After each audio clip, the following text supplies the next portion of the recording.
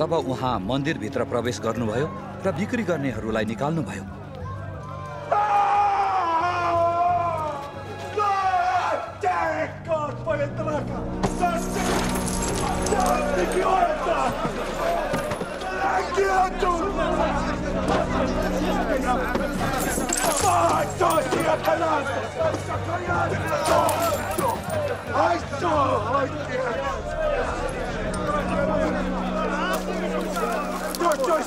र तिनीहरूलाई भन्नुभयो धर्मशास्त्रमा लेखिएको छ मेरो घर प्रार्थनाको घर हुनेछ तर तिमीहरूले त यसलाई डाकुहरूको अड्डा बनाएका छौ।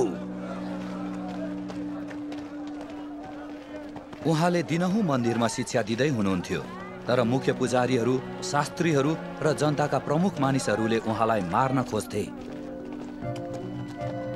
तिनीहरूले उहाँलाई मार्ने कुनै उपाय भेटाउन सकेनन् किनकि सबै मानिसहरू उहाँका कुरामा मुग्ध थिए। एक दिन मन्दिरमा उहाँले मानिसहरूलाई शिक्षा दिइरहनु भएको थियो र तिनीहरूलाई सुसमाचार प्रचार गरिरहनु भएको थियो। धर्मगुरुहरूका साथमा मुख्य पुजारीहरू र शास्त्रीहरू उहाँ कहाँ आए? र उहाँलाई सोधे हामीलाई भन कुन अधिकारले तिमी यी काम गर्दछौ? अथवा तिमीलाई यो अधिकार दिने को हो? उहाँले तिनीहरूलाई जवाफ दिनुभयो म पनि तिमीहरूलाई एउटा कुरा सोध्छु। मलाई उत्तर देऊ। यो हन्नाले दिएको बत्तिसमा स्वर्गबाट थियो कि मानिसबाट? तिनीहरू आपसमा बहस गर्न लागे। स्वर्गबाट भनौँ भने तिमीहरूले उनलाई किन विश्वास गरेनौ भनेर तिनले भन्नेछन्। मानिसबाट भनौँ भने सबै मानिसहरूले हामीलाई ढुङ्गाले हान्नेछन् किनकि योहन्ना अगमवक्ता हुन् भन्ने तिनीहरूको पक्का विश्वास छ। यसकारण तिनीहरूले जवाफ दिए हामी जान्दैनौ कहाँबाट आएको हो? तब येसुले तिनीहरूलाई भन्नुभयो उसो भए म कुन अधिकारले यी काम गर्दछु म पनि तिमीहरूलाई भन्दिनँ। उहाँले मानिसहरूलाई यो दृष्टान्त भन्नुभयो। एकजना मानिसले दागबारी लगाए र मोहीहरूलाई दिएर धेरै दिनका निम्ति परदेश गए। फल पाकिसकेपछि दागबारीबाट केही फल लिन दागबारीका मालिकले आफ्नो एउटा नोकरलाई मोहीहरू कहाँ पठाए तर मोहीहरूले त्यसलाई पिटेर रित्तै पठाइदिए। तिनले अझै अर्को नोकरलाई पठाए तर तिनीहरूले त्यसलाई पनि पिटी बेइज्जत गरेर रित्तै पठाइदिए। तिनले तेस्रालाई पनि पठाए तर तिनीहरूले त्यसलाई पनि घाइते बनाएर निकालिदिए।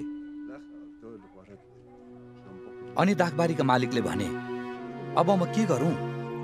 म आफ्नो प्यारो छोरो पठाउनेछु। सायद उसलाई त तिनीहरूले आदर गर्लान्। तर मोहीहरूले उसलाई देखेर आपसमा कुरा गरे। यो त हकवाला हो। हामी यसलाई मारौँ र सम्पत्तिको हक हाम्रो हुनेछ।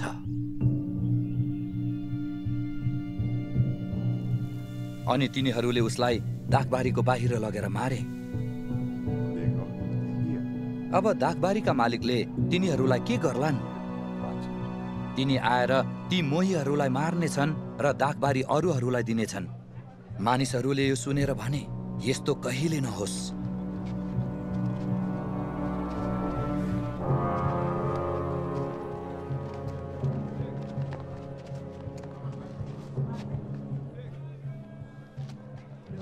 तर उहाँले तिनीहरूलाई हेरेर भन्नुभयो यो लेखिएको के हो त? जुन ढुङ्गालाई भवन निर्माण गर्नेहरूले रद्द गरे त्यही चाहिँ कुनाको शिर ढुङ्गो बन्यो। त्यस ढुङ्गामाथि खस्ने हरेक चकनाचुर हुनेछ। तर जसमाथि त्यो खस्छ त्यसले त्यसलाई धुलो पिठो पार्नेछ। तब शास्त्रीहरू र मुख्य पुजारीहरूले त्यसै बेला उहाँलाई पक्रन खोजे।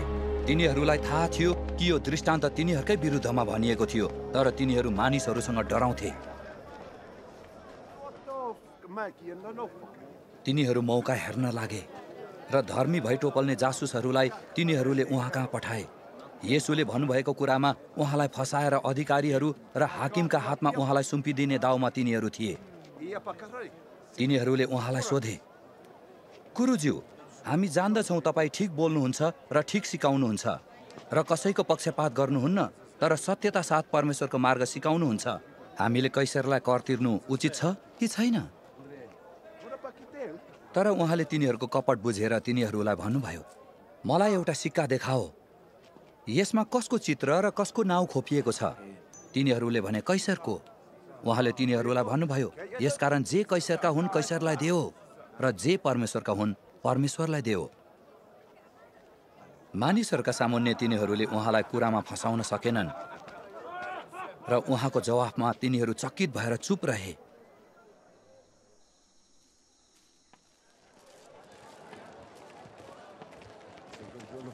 त्यसपछि उहाँ कहाँ केही सदुकीहरू आए मृतकबाट पुनरुत्थान हुँदैन भन्ने तिनीहरूको धारणा थियो। तिनीहरूले उहाँलाई सोधे गुरुज्यू मोसाले हामीलाई लेखिदिएका थिए कि कुनै मानिसको विवाहित दाजु निसन्तान मर्यो भने भाइ चाहिँले त्यसकी पत्नीलाई विवाह गरी दाजुको सन्तान खडा गरिदिनुपर्छ? सात भाइ थिए। जेठोले एउटी पत्नी ल्याएर निसन्तान मर्यो। र माहिलोले र साहिलोले त्यसलाई विवाह गरे र त्यसै गरी ती सातैजना निसन्तान मरे। पछिबाट त्यो स्त्री पनि मरी। यसकारण मृतकबाट पुनरुत्थान हुँदा त्यो स्त्री तिनीहरूमध्ये कसकी पत्नी हुन्छे किनकि त्यो सातैजनाकी पत्नी भएकी थिए यसुले तिनीहरूलाई भन्नुभयो यस युगका मानिसहरू विवाह गर्छन् र विवाह गरिदिन्छन्। तर त्यस युगसम्म पुग्न योग्य ठहरिनेहरूले र मृतकबाट जीवित भई उठ्न योग्य हुनेहरूले न विवाह गर्छन् न विवाह गरिदिन्छन्। तिनीहरू फेरि मर्दैनन्। किनभने तिनीहरू स्वर्गदूतहरू समान हुन् र पुनरुत्थानका सन्तान भएका हुनाले परमेश्वरका सन्तान हुन्। तर मृतकहरू जीवित भई उठ्नेछन् भन्ने कुरा मोसाले पनि पोथराको विवरणमा परमप्रभुलाई अब्राहमका परमेश्वर इसाकका परमेश्वर र याकुबका परमेश्वर भनेर पुकार्दा देखाइदिए। उहाँ मृतकहरूका परमेश्वर हुनुहुन्न तर जीवितहरूका परमेश्वर हुनुहुन्छ किनकि सबै उहाँकै निम्ति जीवित छन्।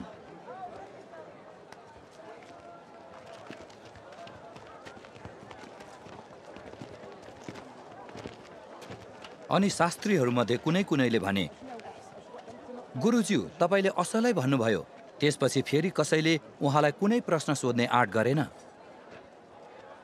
तर उहाँले तिनीहरूलाई भन्नुभयो ख्रिस्ट दाउदका पुत्र हुन् भनी तिनीहरू कसरी भन्दछन्?